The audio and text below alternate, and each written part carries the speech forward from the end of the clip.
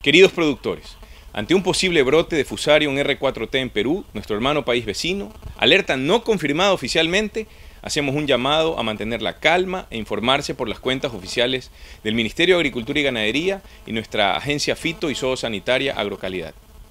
Estamos mejor preparados para eventos como estos desde antes de la confirmación en nuestro hermano país vecino Colombia. Esta plaga no se encuentra presente en Ecuador y hemos ofrecido todo el apoyo a nuestro vecino con nuestra capacidad analítica y técnica, así como nuestra capacidad operativa para la evaluación de la sospecha y actividades subsiguientes que permitan evitar una posible dispersión y grave afectación al sector agrícola de nuestros países. Se están movilizando campers en este momento a puntos estratégicos donde se establecerán cercos epidemiológicos de acuerdo al mapa de riesgos.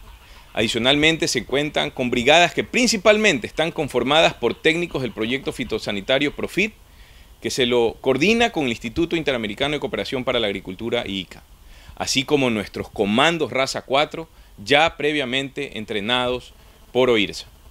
Se está gestionando la reactivación de arcos de desinfección por parte de los gobiernos autónomos descentralizados y otras instituciones para fortalecer los procesos de desinfección y prevenir el ingreso de este hongo el Ministerio de Agricultura y Ganadería y sus entidades adscritas, nos encontramos activados y preparados para atender esta alerta.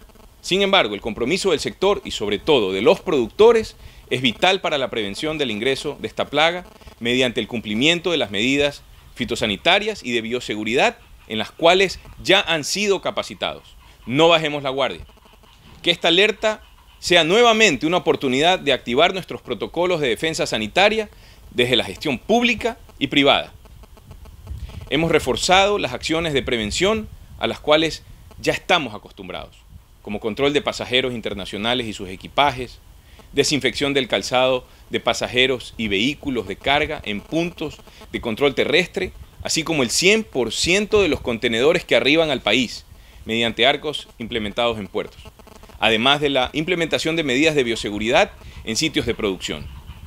Nuestro plan de contingencia fue actualizado en diciembre del 2020 y este momento será aprovechado para hacer una nueva actualización. Los temas fito y zoosanitarios serán prioridad en la transición ordenada con el gobierno entrante.